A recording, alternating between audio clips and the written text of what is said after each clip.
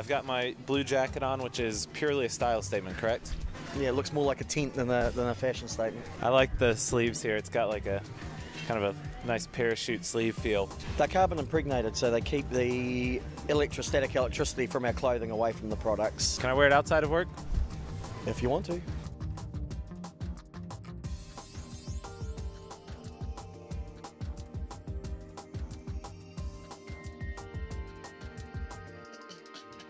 Hello, everyone, and welcome to Behind the Scenes at Tait. I'm here with Aaron Robinson, production manager at Tait, and we are in the manufacturing facility. Aaron, how are you? Very well, thanks. How's it going? Excellent. So, one of the cool things to me about Tait is that we actually do build all of our radios in house. Uh, why did we make that decision to do it here and not outsource it? Originally, we designed and developed our products in house. We've carried on with that model. Over the years, we've tested that against many other suppliers for outsourcing, and we come back as being extremely competitive. We're also very agile, we can do the small orders, we can do quick turnaround, and that gives us control over our own business. Yeah. rather than being reliant on outsourcing. Quality is a given no matter whether you do uh, outsource it or whether you build it in house. So, we have some pretty intense machines around here. Uh, what are these guys actually doing?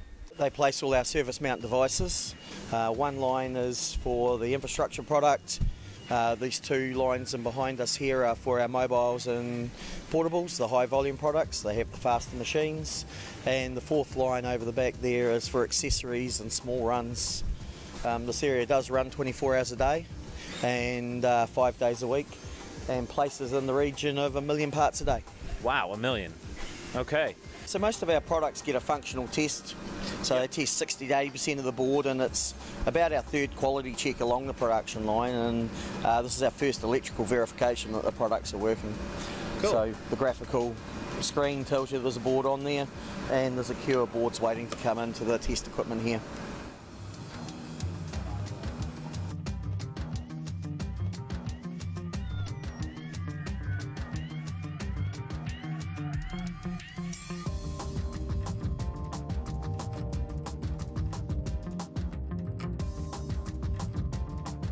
Okay, this machine right here is what I call the Tait Tougherizer.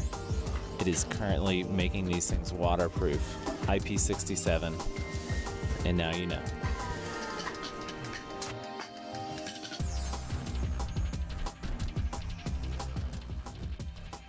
So, something I've heard you guys talk about before is lean manufacturing. Can you explain what that is and why we do it? Okay, so lean essentially is about uh, elimination of waste, and uh, the way we go about that is to uh, have lines that build to takt times, which is the rate at which customers are buying from us. We set ourselves up to build at that rate, so we don't have any waste of overbuilding product or having to hold finished goods product as a buffer, so that we can get stock in there. So it allows us to uh, keep the minimum amount of inventory and the minimum amount of stock in our finished goods area. So, we can increase or decrease the speed at which we're producing to meet demand, correct? Yes, and we do that weekly um, to match what the current forecast and current uh, demand is from customers. So, you know, we can double our production within a week. Makes our lives easier as well, um, and as a key point of that, means our costs are kept as low as possible.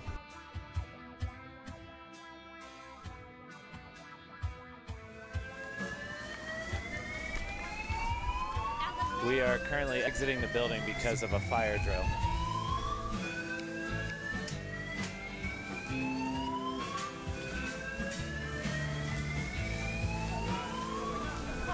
Okay, well, hey Aaron, thank you so much for giving us a tour. And even though the fire alarm was a bit inconvenient, the nice thing is you get to see all the different Tait people together who make these radios possible. So, Aaron, thank you so much for showing us around. This was really informative. Hey, thanks a lot for coming and having a look and seeing what us guys get up to. Yeah, great.